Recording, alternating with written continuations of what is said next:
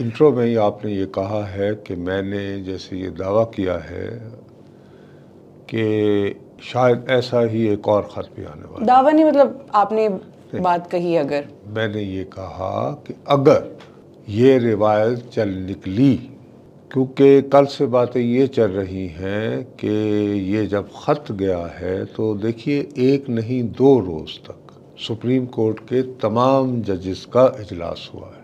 तो इसका मतलब ये है कि कहीं ना कहीं कंसेंसस डेवलप नहीं हो रहा था। अब उसके तनाजुर में मैं इस खदशे का इजहार मैंने किया था कि यार अगर यही ट्रेंड चल पड़ा तो ये भी तो हो सकता है कि सुप्रीम कोर्ट के फुल कोर्ट के जो इजलास हुए हैं, इनमें कुछ इज़्ज़त माब जजिस साहब जो कि हॉकिश लाइन ले रहे होंगे हमें तो पता नहीं है कि अंदर क्या बातचीत हुई है। वो तो इंटरनल वो तो इंटरनल चीज़ है जो पब्लिक नहीं हुई अभी। लेकिन ये कि एक बात तो क्लियर हो रही थी कि कुछ कहीं ना कहीं डिफरेंसेस थे। इतना लंबा हो रहा था ना पहले दिन इजलास होता कोई अलामिया तक नहीं आया वगैरह वगैरह। तो कहीं ऐसा ना हो कि फिर एक और कोई वो जिनके कोई जो समझते हो कि मेरी बात नहीं सुनी गई या हमारी बात ही सुनी गई तो वो, वो भी अगर खत लिख तो ये तो अभी इस्लामाबाद हाई कोर्ट तक मामला नज़र बज़ाहिर रुका हुआ है। तो ये तो एक और तूफ़ान मच जाएगा पूरी अदलिया का यानी कि ऊपर सुप्रीम कोर्ट तक। यानी कि मैं ये कह रहा था कि अगर अगर खुदा मतलब हम और ये बात करते हुए भी मैंने तीन मरतबा आसमान को देखकर अभी भी कह रहा हूँ और उस वक्त भी कहा था कि मेरे मुँह में खाक मेरे मुँह में खाक मेरे मुँह में खाक यानी कि ऐसा ना हो। लेकिन अब तक आपकी अक्सर बातें सही ही साबित हुई हैं। मेरी बदकस्मती है ये। बदकस्मती ये है कि अगर मैं जलजले को मेरे जो टांगे हैं, वो हिरन की तरह ज़रा वक्त से थोड़ी देर पहले देख लेती हैं, भांप लेती हैं। वजह सिर्फ़ ये है कि तीन से, बल्कि चार दहाइयाँ हो गई हैं, चालीस साल मुसलसल मुल्क की सियासत के बारे में देखा है मुशाहिदा किया है और उसके बारे में रिपोर्टिंग की है। तो अब तो आपके अंदाजे तो इसीलिए सही उसकी वजह से यहाँ पे क्या क्या तमाशे नहीं हुए? ये है कि अब कजिया अब हमारे यहाँ प्रॉब्लम ये है कि लोग इसके बारे में हम लोग बहुत बेहिस हो गए हैं। देखिए इस्लामाबाद हाई कोर्ट के छः इज़्ज़त जजेस का लेटर लिखना। ये कोई नॉर्मल बात नहीं है और ना ही हिस्ट्री में कभी ऐसा हुआ है। किसी और जुडिशरी में भी किसी और कंट्री की। एक तो ये हो गया। दूसरा सवाल ये उठता है कि ख़त उन्होंने चीफ जस्टिस साहब को लिखा। वो ख़त जो है वो लीक किसने किया? उसको पब्लिक किसने किया? देखिए ना लोग बासानी ये फ़र्ज़ कर लेंगे कि साहब जिन जज साहिबान ने ये ख़त लिखा उन्होंने खुद ही मीडिया को लीक कर दिया कि भाई हम तंग आमद पर जंग आमद। कि हम अपनी दानिश में फ़ला फ़ला मौके पर जो है, हम चीफ जस्टिस साहब को ये कह रहे थे। ठीक है ना? तो फिर अगर तो वो सूरत हाल है तो फिर मैं समझता हूँ कि उन्होंने ज़्यादती की। उन्हें ये चाहिए था कि इस मौजूदा ख़त में कहते कि साहब हमने फ़लाँ फ़लाँ फ़लाँ अभी तक फोरम का दस्तक दी है। और हमारी सुनवाई नहीं हुई। तो आप रहे मेहरबानी अब आपने एक्शन न लिया तो हम अपने ग्रीवेंसेस जो हैं अपनी शिकायत जो है ये हम पब्लिक में ले जाने पर मजबूर होंगे। ऐसी बात उस खत में नहीं है अगर आप उस खत को डायरेक्ट ही पब्लिक के इससे मिलता जुलता एक थोड़ा सा वाक़ हुआ था कि इंडिया में सुप्रीम कोर्ट के कुछ जजेस ने प्रेस कॉन्फ्रेंस कर दी थी। लेकिन उन्होंने जल्दी उस पर काबू पा लिया मसला रिजॉल्व हो गया। अब हमारे यहाँ ये ख़त जो है ये भी पच्चीस मार्च को लिखा जाता है जो उस पर है। जो डेट उसमें दी हुई है। छब्बीस मार्च को सात साढ़े सात बजे के करीब ये व्हाट्सएप ग्रुप्स मैसेजेस में लीक होना शुरू हुआ है। ठीक हो गई बात। अब ये टाइमिंग देखें।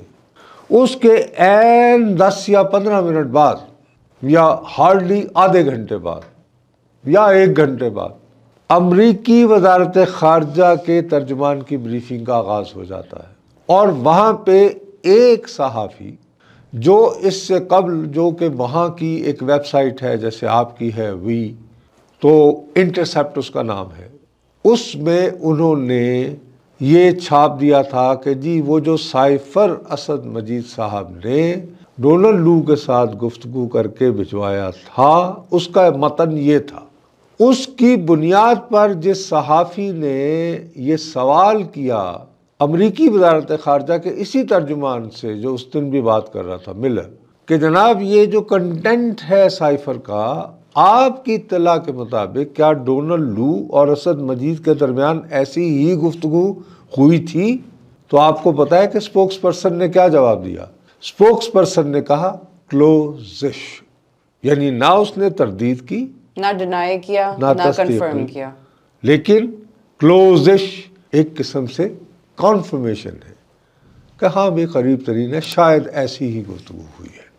इससे एक बात तो साबित हुई कि उन साहब या उस वेबसाइट ने जिसने ये साइफर का मतन छापा उन तक साइफर की वो कापी जो कहा जा रहा है कि गुम हो चुकी है वो पहुँच चुकी थी।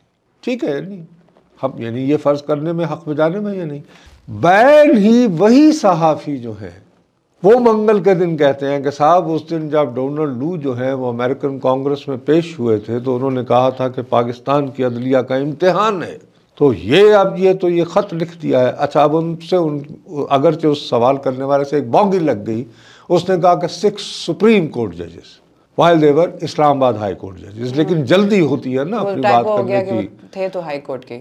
वो मकसद ये कि उन्होंने हमाकत की अच्छा और उन्हें उनकी यानी पसंद का जवाब नहीं मिला। अब ये जो है इससे माथा ठिनकता है कि एक ख़ास मिजाज के सहाफ़ी ये सवाल करते हैं और अमूमन उनकी सहाफ़त जिस जमात को या जिस ग्रोह को फ़ायदा पहुंचाती है वही अब बैनर लेकर उठ गई है। कि जी इस्लामाबाद के इन छः हीरो जजेस ये वो। अब वो उनके हीरो हो गए। दूसरी तरफ़ जो तहरीक इंसाफ की मुखालिफ पार्टियाँ हैं वो कह रही है अरे ये कहाँ के हीरो थे? जब जस्टिस शौकत सदीकी के साथ ये हो रहा था उस वक्त इनकी ज़माने क्यों गुम थी? यानी इशू जो उठाया गया है वो तो गया भाड़ में। वो अपने अब ये कि अपने अपने हीरो बना लो। एक का हीरो है शौकत सिद्दीकी एक के हीरो है ये छह जजेस अब आप इसमें छह जजेस पीटीआई के हीरो कैसे हो सकते हैं? वो तो पीटीआई के ही दौर में उन लोगों ने उनके फेवर में फैसले किए। मैं आपसे अर्ज़ कर रहा हूँ बीबी के मैंने तो वो खत नहीं लिखा ना।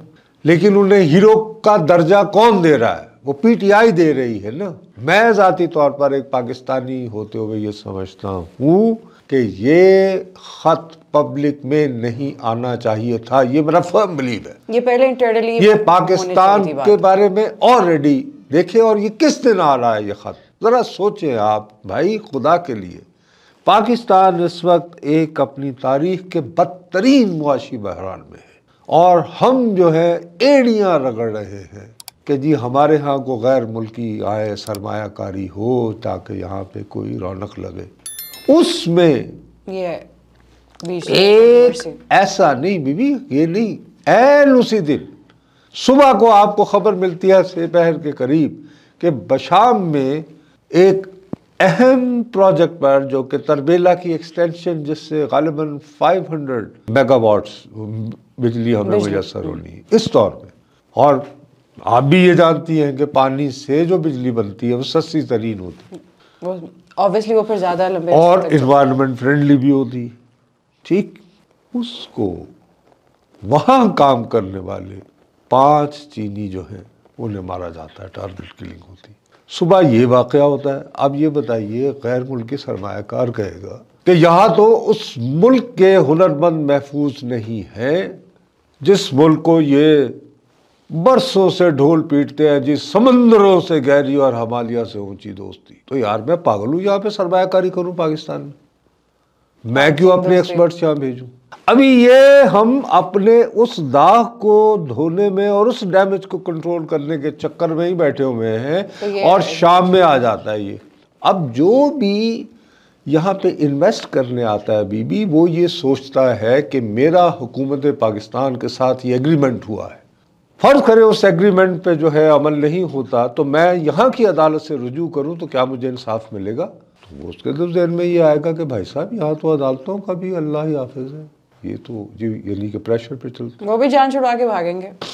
तो इस तरह के इस बात को मैं ये कहता हूँ कि अगर इस मुल्क में इन्वेस्टिगेशन होनी चाहिए और कुछ सकत रह गई है तो फ़र्स्ट ऑफ़ ऑल ये पता चलाया जाए कि ये खत पब्लिक कैसे हुआ। सबसे पहले तो हम उस बात पे रूट कॉज पे पहुँचे ना उसके बाद सारे मामले उसके बाद फिर ये पता करें कि साहब ये जो इल्ज़ामात लगा रहे हैं ये दुरुस्त थे या नहीं थे?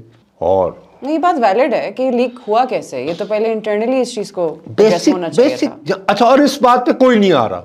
ना मीडिया आ रहा है अगर आपको। नफरत है जो ये कि इस हुकूमत से तो आप छः जजेस ने कमाल कर दिया। और मैं बायदा बे इन छः जजेस में से कम अज़ कम दो अफराद के साथ मेरी दरीना शनासाई है, लेकिन जब से वो जज बने हैं, मेरी बिल्कुल मुलाकात नहीं हुई। मेरे दोस्त नहीं हैं, शनासाई।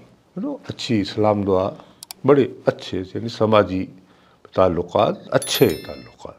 लेकिन जब से उन्होंने अपना अहदा संभाला है ज़ाहिर है क्योंकि उनका ऑफ़िस ऐसा है कि I should be avoiding and they should be ये प्रिंसिपल है। बहरहाल तो ये मेरा अपनी दानिश में इनको जल्द अज जल्द जो है ये करना चाहिए। मेरी दानिश में सबसे पहले ये पता करें कि ये लीक क्यों हुआ और क्या इस तरह का ख़त पब्लिक में आना चाहिए था। क्या ये ख़त लिखने के अलावा और कोई ऑप्शन जजिस के पास नहीं रह गया था? इन सवालों का जवाब मिल जाए तो फिर आगे बात होगी। शायद अगले हफ़्ते तक कुछ पता चल जाए हमें। शायद इन दो सवालों में से किसी एक का जवाब मिल जाए या शायद दोनों का ना मिले। पता चले अगले हफ़्ते हम कोई और कोई सवाल और खत उठाते कर। रहे हैं। नहीं खत नहीं बाबा खत पे क्यों आपकी सुई अड़ गई है? कुछ और भी तो हो सकता है। सर कुछ और ना ही हो तो बेहतर है। एक खत ही ने हिला दिया।